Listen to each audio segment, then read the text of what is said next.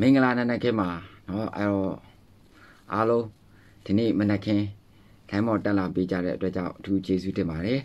နော်အဲ့တော့မြန်မာနိုင်ငံကြီးကအပြောင်းလဲလဲမြန်နေတဲ့ကာလဖြစ်နေရယ်နော်အပြောင်းလဲကမြန်နေတဲ့ကာလမြန်မာနိုင်ငံကြီးကအပြောင်းလဲကမြန်နေဆိုတဲ့အခါမှာဟိုမြန်မာပြည်သူလူထုကြားထဲမှာနေမဟုတ်တော့ဘူးနောက်ပြီးတော့မြန်မာနိုင်ငံအတွင်းထဲမှာနေမဟုတ်တော့ဘူး အာဆီယံအဆင့်မှလည်းမဟုတ်တော့ဘူးနော်ကမ္ဘာအဆင့်ထိကိုပေါ့နော်ကမ္ဘာအဆင့်ထိကိုဒါပြောင်းလဲတယ်ဆိုတာကိုတွေ့ရပါတယ်နော်အဲ့တော့ကမ္ဘာအဆင့်ထိကိုမြန်မာရဲ့နိုင်ငံရေးကပြောင်းလဲလာတဲ့ဟာကိုတွေ့ရတယ်နော်အဲ့တော့ကမ္ဘာအဆင့်ထိကိုမြန်မာပြည်သူလူထုရဲ့စူးစမ်းတာကိုတွေ့ရတယ်အဲ့တော့အခုလိုမျိုးပေါ့နော်ဒီလိုမျိုး ဒီအကြမ်းဖက်စစ်ကောင်စီထွက်ပေါက်ပိတ်သွားတဲ့အနေအထားမျိုးကို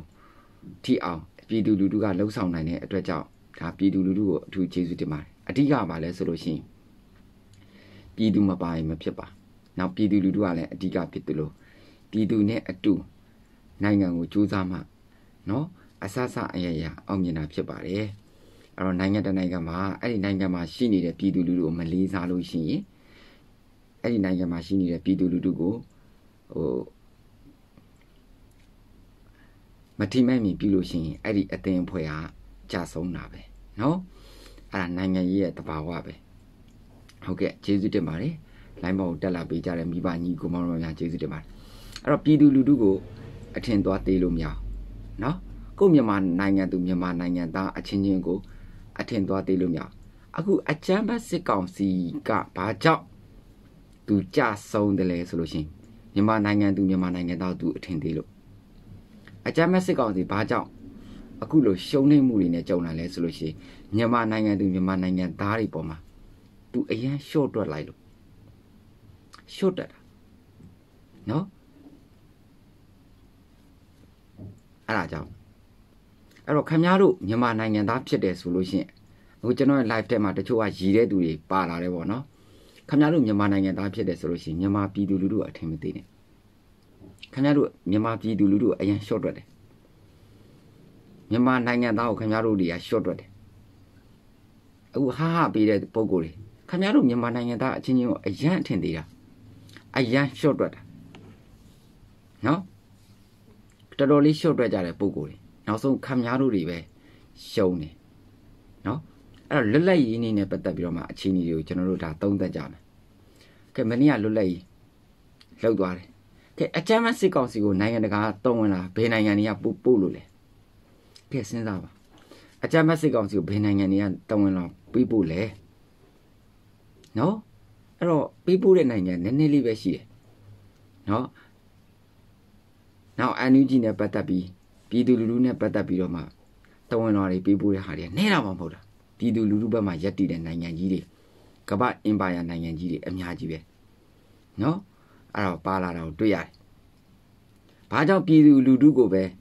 ကမ္ဘာအင်အားကြီးနိုင်ငံတွေကဆက်သွယ်လာလဲဆိုလို့ရှိရင်မြန်မာနိုင်ငံရေးကိုပြည်သူလူထုကအလုပ်လုပ်လို့ပြည်သူလူထုကိုပဲကမ္ဘာနိုင်ငံကြီးတွေကဆက်သွယ်တော့တယ်။ပြည်သူလူထုကမြန်မာနိုင်ငံမှာအနှင်းနာခံတယ်။ပြည်သူလူထုကအကြမ်းဖက်မှုမရှိဘူး။ ပြည်သူလူထုကယူစင်းတယ်။ပြည်သူလူထုကတတ်တယ်။နော်ယူရှင်းတယ်အရန်ယူရှင်းလို့လည်းဒီအကြမ်းဖက်စစ်ကောင်စီရဲ့အခွင့်ကောင်းယူပြီးတော့မှနှစ်ပေါင်း80ကျော်လောက်ကိုအကြမ်းဖက်မှုခံခဲ့ရတာအဲ့တော့မြန်မာပြည်သားဆိုတာကယူယူရှင်းရှင်းလေးပဲချစ်စရာတိတ်ကောင်းတယ်ကြိုက်ကြိုက်တယ်မကြိုက်မကြိုက်ဘူးအဲ့လိုပြောတဲ့ဟာမျိုးတောင်ပေါ်ပဲဖြစ်ဖြစ်မြေပြတ်မယ်ဖြစ်ဖြစ်ဒီအတိုင်းပဲဒီ flow အတိုင်းပဲသွားတယ်နော်အဲ့ဒါမျိုး အဲ့တော့ပြည်သူလူထုကမြန်မာနိုင်ငံကြီးမှာကြိုးစားတယ်မြန်မာနိုင်ငံကိုတိဆောက်တယ်မြန်မာပြည်သူလူထုအချင်းချင်းကိုပြန်ထိန်းတယ်နော်အဲစစ်ဘေးဒုက္ခတွေတွေဆိုလို့ရှိရင်လည်းပြည်သူလူထုကကြွေးပြန်ပြီးမွေးပြန်ပြီးပြည်စုပြန်ပြီးနော်အဲ့တော့တိုင်းပြည်တိဆောက်ရေးအတွက်ဆိုလို့ရှိရင်လည်းပြည်သူလူထုကကြွေးပြန်ပြီးမွေးပြန်ပြီးနော်အာအကြမ်းဖက်စစ်ကောင်စီအုပ်စုကတော့ဒါကျွန်တော်တို့ဗိုလ်ချုပ်အောင်ဆန်းဒါ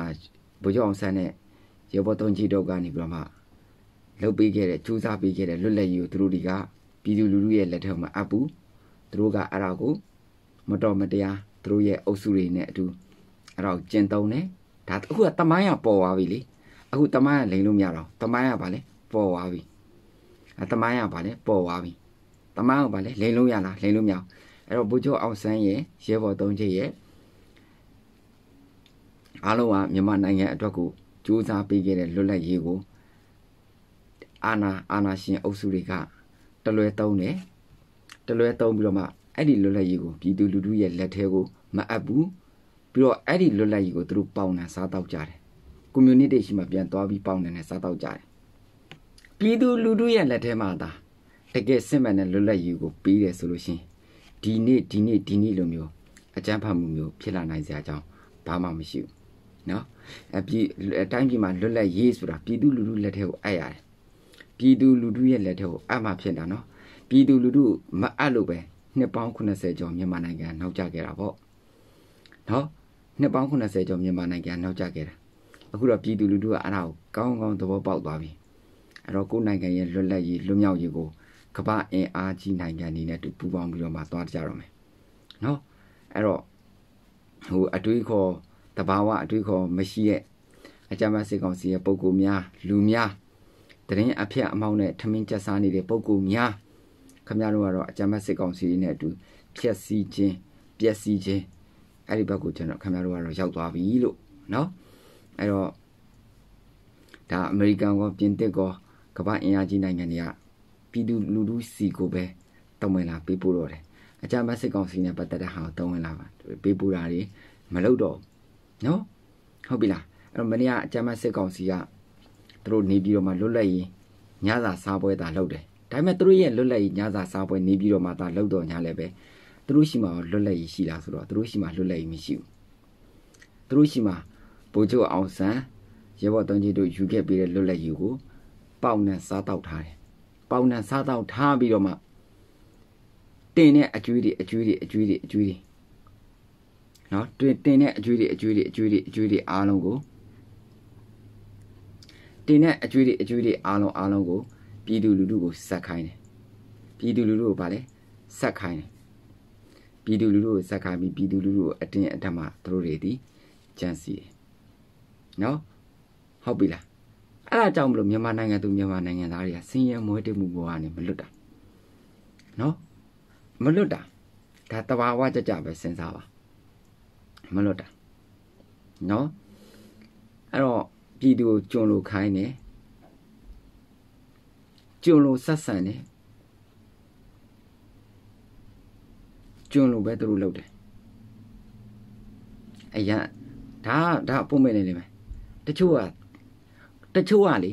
ကိုကိုယ်တိုင်မခံရတော့သူတို့ကမသိဘူးနော်မသိတာမဟုတ်မသိကျိုးကျွန်းတာလည်းဖြစ်တယ်နော်မြန်မာနိုင်ငံကိုဥဆောင်မဲ့ပုံကိုယ်တွေဟာ ခမရတမနာကြီးပဲဖြစ်ဖြစ်ဝင်ကြီးပဲဖြစ်ဖြစ်ကိုထမင်းစားကနေမှာငါတို့နိုင်ငံကပြည်သူလူထုကထမင်းပုံမှန်စားနိုင်ရဲ့လားထမင်းပုံမှန်စားရရဲ့လားနိုင်ငံတော်တမနာဝင်ကြီးယူနေတဲ့ပုံကူများအိမ်ဆောင်အစိုးရယူနေတဲ့ပုံကူများခမရတို့ညာအိတ်ခါနီမှာပြည်သူလူထုကညာကောင်းကောင်းမွန်မွန်အိပ်ပျော်ရဲ့လားနော်ပြည်သူလူထု တောင်ပေါ်မိပြအားလုံးပါသွားပြီသူတို့ကကောင်းကောင်းမွန်မွန်အိပ်အိပ်ပျော်ရဲ့လားသူတို့ကထမင်းပုံမှန်စားရရဲ့လားခမရတို့တွေးရလားမတွေးပဲနဲ့တော့ခမရတို့တမရလည်းမယူကြပါနဲ့ရှက်ဖို့ကောင်းတယ်ဝင်ကြီးလည်းမယူကြပါနဲ့ရှက်ဖို့ကောင်းပါတယ်နော်ရှက်ဖို့ကောင်းတယ်အဲ့ဒါပဲအမှန်တရားအဲ့ဒါပဲအဲ့တော့အကြမ်းဖက်စစ်ကောင်စီလူမျိုးတုံးတက်ဖြတ်မှုတွေသူတို့ကျူးလွန်တယ် ကျူးလွန်တယ်အဲ့ဒီကျူးလွန်တဲ့ဟာတွေကအမေရိကန်အခုတရုတ်ကိုလူမျိုးတုံးတက်ဖြတ်မှုနဲ့ပြန်ကင်ထားတယ်နော်အဲတရုတ်ကွန်မြူနီရဲ့ငယ်ပါကိုအမေရိကန်ကပြန်ကင်ထားတယ်လူမျိုးလုံးတက်ဖြတ်မှုပဲအဲ့တော့အကြမ်းဖက်စစ်ကောင်စီကဒီတရုတ်ကွန်မြူနစ်စီကပညာတော်တော်ရတာပဲအဲ့ဒီအတိုင်းပဲမြန်မာနိုင်ငံမှာသူလူမျိုးလုံးတက်ဖြတ်မှုသူကျူးလွန်တာအဲတရုတ်ကွန်မြူနစ် ပြောတဲ့အတိုင်းအဲ့တော့အကြမ်းဖက်စစ်ကောင်စီရဲ့ဆရာဆိုတာဘယ်သူလဲမြန်မာနိုင်ငံသားအစ်စ်တော်မဟုတ်တော့ဘူးအဲ့ဒါတတိထားအခုအကြမ်းဖက်စစ်ကောင်စီကြရာပြည်နယ်နဲ့ပတ်သက်ပြီးသူတက်ဖြတ်ထားတဲ့ဟာတွေအားလုံးကို NUG ကအကုန်တင်ပါနော်ရှော့မတွန်းနဲ့ခင်ဗျားတို့အကြံဖက်စစ်ကောင်စီရဲ့ငယ်ပါကိုလည်း NUG ကကင်ပြရအနိုင်ပိုင်းမိသားဒီပွဲ ခင်ဗျားတို့ကအကြံဖက်မှုကိုပဲအားပေးတာလေအကြံဖက်မှုပဲရှိတာခင်ဗျားတို့မှာဘာဥပဒေမှလည်းမရှိဘူး2008ဆိုတာလေခင်ဗျားတို့ကဘာတွေလှုပ်ထားလို့လှုပ်ထားမှလည်းမသိခင်ဗျားဘာလို့ခင်ဗျားတို့ဟိုအသက်လည်းမဝင်ပါဘူးအဲ့ဒါ2008ဆိုတာစုပ်ပြတ်တန်အဲ့တော့အမေရိကန်ကလည်းတရုတ်ကွန်မြူနတီရဲ့အာဏာချက်ကိုကင်ထားပြီးသား NUG အစိုးရကလည်း အကြမ်းဖက်စစ်ကောင်စီတွေနဲ့ပတ်သက်တဲ့ဟာကိုပြန်ကင်ထားပြီးသားခင်ဗျားတို့တကယ့်ကပ္ပစစ်ခုံရုံကိုတွားကိုတွားကိုပါလေတွားရလိမ့်မယ်နော်ဆွေးနွေးစရာအကြောင်းလည်းမရှိဘူးမြန်မာနိုင်ငံမှာဆွေးနွေးစရာပြည်သူလူထုပဲရှိတော့တယ်ကမ္ဘာအင်အားကြီးနိုင်ငံတွေကမြန်မာနိုင်ငံအရေးနဲ့ပတ်သက်ပြီးတော့မှဆွေးနွေးစရာပြည်သူလူထုပဲရှိတယ်ခင်ဗျားတို့အကြမ်းဖက်စင်ကောင်စီကိုမဆွေးနွေးဘူးမဆွေးနွေးဘူးပြည်သူလူထုနဲ့ပဲဆွေးနွေးမယ်ပြည်သူလူထု ဖွံ့ဖြိုးတိုးတက်ဖို့အတွက်ကိုပဲတွားတော့မယ်ကွဲသွားပြီခင်ဗျားတို့ ਨੇ အဲ့တော့ခင်ဗျားတို့အကြမ်းဖက်စစ်ကောင်စီတွေကတော့မြန်မာနိုင်ငံမှာနေရာရဖို့မစင်စားနဲ့တော့နော်အဲ့တော့မြန်မာနိုင်ငံမှာဒါအခြေခံလူဒန်းစားတွေအစားတိုးတက်လာလိမ့်မယ်နော်အခြေခံလူဒန်းစားတွေကစဘဝကိုအစ်စ်အစ်စ်အစ်စ်နဲ့ပြန်ပြီးစလိုက်မယ်အကုန်နော်အဲ့တော့ခင်ဗျားတို့အကြမ်းဖက်စစ်ကောင်စီနှစ်ပေါင်း80ကျော်အားရပါရဖြတ်စည်းခဲ့ပြီးပြီဒီတစ်ချိန်မှာတော့ ဒီတစ်ချိန်မှာတော့ခင်ဗျားတို့တွေဒီပြည်သူကလည်းထပ်မစင်းစားတော့နော်အဲ့တော့ကမ္ဘာအင်အားကြီးနိုင်ငံတွေကတော့ပြည်သူလူထုနဲ့ပဲတော့မယ်အကြမ်းဖက်စစ်ကောင်စီရဲ့ရုံးမှပတ်သက်မှုတွေကိုကြီးလိုက်မယ်ဆိုလို့ရှိရင်တရုတ်ကွန်မြူနတီရဲ့နဲ့တက်ထက်တဲ့ဖြစ်နေတရုတ်ကွန်မြူနတီကတရုတ်ကွန်မြူနတီကျူးလွန်နေတရုတ်ကွန်မြူနတီသူတို့လည်းပြောမှာပေါ့တရုတ်ကွန်မြူနတီတောင်မှလူမျိုးတုံးတက်ဖြတ်မှုကျူးလွန်တာပဲငါတို့လည်းဘာဖြစ်လို့မကျူးလွန်ရမှာပဲဆိုအဲ့လိုမျိုးပုံစံရင်းနဲ့မယူရဲဆန်နေကြတာခင်ဗျားတို့တွေက အဲ့ဒါမှားတယ်ပြည်သူနဲ့ပတ်သက်လာလို့ရှိရင်မယူရဲမဆန်ရဘူးပြည်သူနဲ့ပတ်သက်လာလို့ရှိရင်ပြည်သူလူထုကိုကာကွယ်ရတယ်စောင့်ရှောက်ရတယ်ထိန်းသိမ်းပေးရတယ်ပြည်သူမသိရင်တော့မှပြည်သူကိုကာကွယ်စောင့်ရှောက်ပေးရတယ်မြန်မာနိုင်ငံရဲ့အမွေကိုပြည်သူပဲပေးရမယ်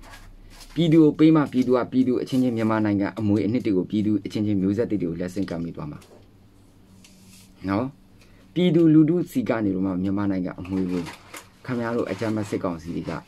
မလူပါနဲ့မလူပါနဲ့မဖြက်စည်းပါနဲ့အချိန်တိုင်းဒီပြည်သူလူထုကမွေးလာတဲ့ကလေးကမွေးမြန်မာနိုင်ငံသားတယောက်ပေါ့နော်မွေးလာတဲ့ကလေးကသူချမ်းသာတဲ့အတိုင်းဝိုင်းလည်းမွေးလိုက်လည်းမွေးလိမ့်မယ်စင်းရဲတဲ့အတိုင်းဝိုင်းလည်းမွေးလိုက်လည်းမွေးလိမ့်မယ်ဒါပေမဲ့အချိန်တန်လာလို့ရှိရင်စိတ်ချမ်းသာအောင်ထားမှာနိုင်ငံရဲ့တာဝန်မိသားစုရဲ့တာဝန်တွေကပွားများဖို့ ဗာလဲနိုင်ငံသားရဲ့တာဝန်ဗာလဲအချိန်တန်လာရင်ကလေးမွေးပေးရမယ်ဒါပဲအိမ်တော်ပြုတ်ပေးရမယ်ကလေးမွေးပေးရမယ်ဒါမြန်မာနိုင်ငံနိုင်ငံသားတွေရဲ့တာဝန်ပဲအေးပြီးလို့ရှိရင်ကလေးတွေပညာတက်လာဖို့မြန်မာနိုင်ငံမှာလူလာဖြစ်တာဒီကလေးတွေကမြန်မာနိုင်ငံအစိုးရမှာတာဝန်ရှိတယ်ကဲဝင်ကြီးယူနေတဲ့တမနာကြီးယူနေတဲ့ပုံကိုယ်တွေခမည်းတော်ရဲ့အရှိမရှိနေတဲ့သားသမီးတွေမှာခမည်းတော်သားသမီးမဟုတ်တော့ခမည်းတော်ဝင်ကြီးယူမယ် နော်တမနာယူမယ်အာနာယူမယ်ဆိုလို့ရှိရင်လည်းတတိုင်းပြည်လုံးမှာရှိနေတဲ့လူတွေအားလုံးကိုခမည်းတော်သားသမီးတွေလို့ခမည်းတော်ရင်သွေးလို့သဘောထားနိုင်မှာခမည်းတော်ယူပါတတိုင်းပြည်လုံးမှာရှိနေတဲ့ကလေးတွေရောသားသမီးတွေရောအားလုံးကိုခင်ဗျားတို့လူမဆန်စွာတတ်တာတွေဖြစ်တာဆိုလို့ရှင်တော့ခင်ဗျားတို့ကစဉ်းစားအကျွန်တော်ပြောနေတဲ့ကိစ္စတွေအားလုံးကိုခင်ဗျားတို့ရှည်တန်းထွက်နေတဲ့အကြမ်းမစစ်ကောင်စီစစ်သားတွေလည်းကြည့်ပါပဲ ခင်ဗျားတို့နဲ့ပတ်သက်တဲ့အတိုင်းအဝိုင်းလည်းကြည့်ပါပဲကျွန်တော်သဘာဝကြကြပြောနေတာခင်ဗျားတို့မှာသားသမီးတွေရှိအေးနိုင်ငံအရေးတွေကိုနိုင်ငံရေးကိုဝင်လာပြီဆိုလို့ရှိရင်တော့နိုင်ငံရဲ့ area အလိုက်ဘယ်လောက်ကြီးရှိလဲတိုင်းနယ်ပြည်နယ်14ခုရှိတယ်အဲ့တိုင်းနယ်ပြည်နယ်14ခုလုံးမှာရှိနေတဲ့လူမျိုးဘာသာအားလုံးမခွဲခြားအာကုသသမီးပဲကိုရင်သွေးပဲအေးအဲ့လိုသဘောထားနိုင်မှာခင်ဗျားတို့တမရတက်လောက်ကြဝင်းကြီးတက်လောက်ကြ ဒါအမှန်တရားပဲအချိန်တန်လာလို့ရှိရင်ကိုသားသမီးတွေထမင်းပုံမှန်စားရလားအချိန်တန်လာလို့ရှိရင်ကိုသားသမီးတွေ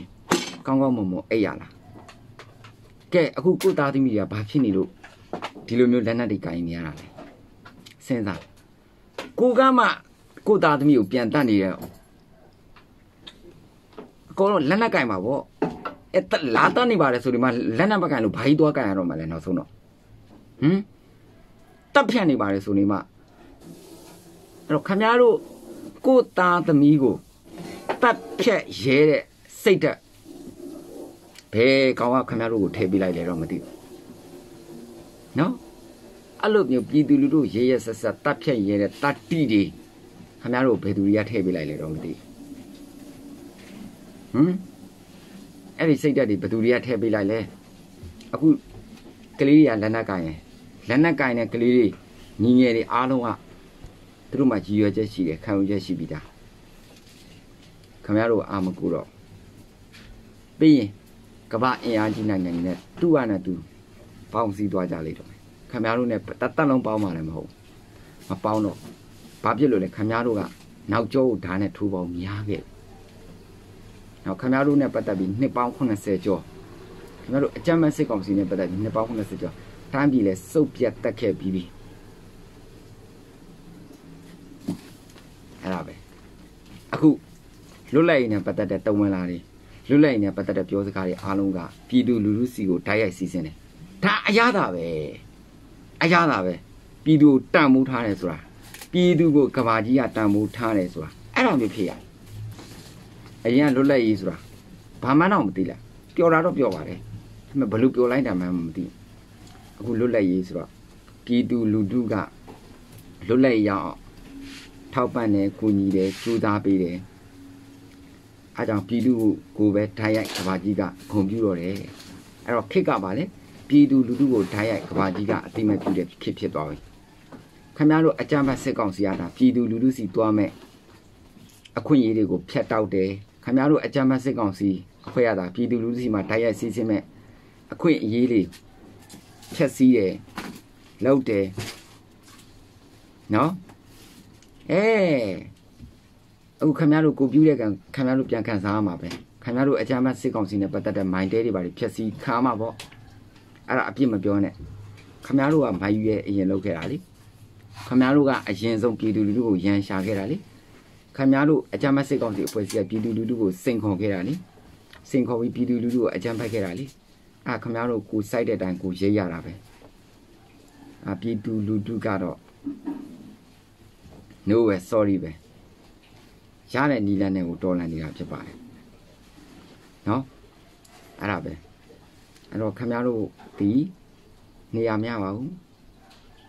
ခင်ဗျားတို့ရဲ့ဆရာလားတရုတ်ကွန်မြူနစ်လဲလူမျိုးတုံးတက်ဖြတ်မှုနဲ့တူအမေရိကန်ကင်ထားပြီးတော့ပါပြီခင်ဗျားတို့အကြမ်းဖက်စစ်ကောင်စီကိုလည်း NUG ကတရားပြည်နယ်ကိစ္စနဲ့ကင်ထားပြီးတော့ခင်ဗျားတို့ဒီပွဲမှာလွတ်လပ်မရှိဘူးလွတ်လပ်မရှိတော့နော်ဟုတ်ပြီလားလွတ်ဖို့ဆိုတာနားမနေတော့ညှိနှိုင်းမှုလာမပြောနဲ့ညှိနှိုင်းကြအကြောင်းလည်းမရှိဘူးဒီတစ်ခါကမြန်မာပြည်သူလူထုကမြန်မာနိုင်ငံနဲ့ပတ်သက်တဲ့လွတ်လပ်ရေးကိုမြန်မာပြည်သူလူထုကိုယ်တိုင်တိဆောက်ပါပြီ အဲ့ဒါဒီတဘာဝတရားပဲဒါပေမဲ့ပြည်သူလူထုကတိဆောက်တဲ့အခါမှာကိုတိဆောက်တဲ့အာဟာရအားလုံးကိုတန်ဖိုးလဲထားတတ်နေပါပြီနော်အဆိုးနဲ့အကောင်းနဲ့အကုန်လုံးသုံးသပ်တတ်နေပါပြီခင်ဗျားတို့ရှော့မတွက်နဲ့ပြည်သူလူထုတွေမှာခင်ဗျားတို့အကြမ်းဖက်စစ်ကောင်စီမင်းအောင်လိုင်းတဲ့ခေါင်းအလုံးပေါင်းမြောက်များစွာတာတဲ့ပညာတတ်တွေရှိရဆိုတော့ဘယ်တော့မှမဟုတ်နော်ပြည်သူလူထုကိုခင်ဗျားတို့ရှော့မတွက်နဲ့ ခင်ဗျားတို့အကြမ်းဖက်စစ်ကောင်စီပြည့်မေတဲ့ပဲပြောလိုက်မယ်မနေ့ကနေပြီးတော့မှလှုပ်တဲ့ညသာစားပွဲခင်ဗျားတို့တယောက်မှမပြောကြဘူးတယောက်မှခင်ဗျားတို့မပျော်ရွှင်ကြဘူးခင်ဗျားတို့တယောက်မှမကြည်နူးကြဘူးနေပြီးတော့မှလှုပ်တဲ့နေပြီးတော့မှလှုပ်တဲ့ညသာစားပွဲမနေ့ကမနေ့ကမနေ့ကနော်ခင်ဗျားတို့ဟုတ်ပြီလားဘာကြောင့်မပြောလဲခင်ဗျားတို့ရှိမှလည်းလွတ်လပ်ရေးမှမရှိတာဘိုးကျော်အောင်ဆန်း ရဲဘော်သုံးရိပ်စွန်းစွန်းတက်မှန်ဆောင်ရွက်ခဲ့တဲ့လွတ်လပ်ရေးကိုခင်ဗျားတို့ကလေးကအကြံဖတ်သိမ်းပြီးတော့မှအဲ့ဒီလွတ်လပ်ရေးကိုပေါင်နှံစားတောက်ထားတယ်ပြည်သူလူထုစီကိုမှအပ်ဘူးအခုအမေရိကန်ကစင်းစရာတွေတောင်းမယ်စင်းစရာတွေတောင်းလို့ရှိရင်မြန်မာနိုင်ငံကိုဘယ်လောက်ထိပေါင်နှံစားတောက်ထားလဲဆိုတဲ့စင်းစရာတွေထွက်လာတယ်အဲ့ဒါဘာနဲ့အတူတူပဲဆိုဆိုလို့ရှိရင်မြန်မာပြည်သူလူထုစီကို ခင်ဗျားတို့လွတ်လပ်ရေးမပေးဘဲနဲ့ပေါင်နှံစားတောက်ထားတဲ့ကိစ္စတွေအကုန်လုံးပေါ်မယ်နော်နိုင်ငံကြီးကအလောက်ထိတော့မှအကြတာအဲ့တော့နိုင်ငံကြီးကဘယ်လောက်ကောင်းနေလဲဆိုလို့ရှိရင်မြန်မာနိုင်ငံအကြတာကစအကုန်တည်နေတဲ့ခေတ်ရောက်သွားပြီလို့ပြောချင်တယ်မြန်မာနိုင်ငံအကြတာကစတည်တဲ့ခေတ်ကိုရောက်သွားပြီလို့ပြောတာနော်ဟုတ်ပြီလားအဲ့တော့ခင်ဗျားတို့အကြမ်းမစစ်ကောင်းစီတွေအတွက်လွန်လန်းတော့မရှိပါဘူးနော် ဒါတီတဘာဝကြပါတယ်နော်တဘာဝကြတယ်မြန်မာနိုင်ငံရောက်ကိုအလဲအပြောင်းအပြောင်းအလဲအရန်ကိုညှဉ်းဆန်လုံးပါတယ်နော်ကဲ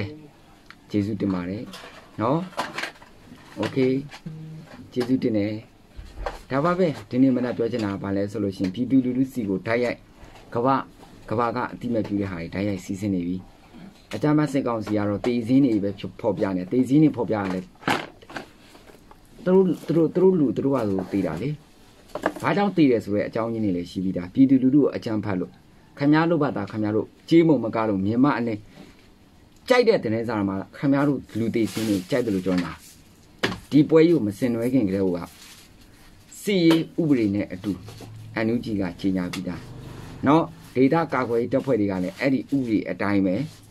လိုင်းနာကျင့်သုံးပြီးခင်ဗျားတို့ကိုရှည်လက်ပြင်းတုတ်တာမကျေနပ်လို့ရှိရင် တတ္တိရှင်ကဘာစစ်ခုံရုံမှာတွေးကြမယ်ဒါပဲတတ္တိရှိလားမလုပ်ရဲတာမရှိဘူးဆိုတဲ့ကောင်းနေလိုက်ခဲ့ကဘာစစ်ခုံရုံကိုလိုက်ခဲ့နော်မလုပ်ရဲတာမရှိဘူးဆိုတဲ့ကောင်းနေခင်ဗျားတို့လေပန်းတန်းစီမြန်မာနိုင်ငံတွင်းမှာဂျင်းတဲ့နေပဲခင်ဗျားတို့ပြောမနေနဲ့တတ္တိရှိလို့ရှိရင်ကဘာစစ်ခုံရုံကိုလိုက်ခဲ့ကြရှိရှိဝေးမပြောချင်တော့ဒါပါပဲเนาะခင်ဗျားတို့အကြမ်းမစစ်ကောင်စီဘက်ကအုပ်စုတွေ တတ္တိရှင်လားတတ္တိရှိလို့ရှိရင်ယောက်ျားပိတာတယ်ဆိုလို့ရှိရင်ကဘာစစ်ခုံရုံကိုလိုက်ခဲ့ကြတွေ့ကြမယ်ပွဲကြီးပွဲကောင်းမယ်โอเคဟုတ်ပြီလားဒါပဲလေလိုက်ခဲ့လေနော်အမေစုတော်မှာတတ္တိရှိရှိရှင်ဆိုင်ခဲ့သေးတာပဲဒါပဲနော်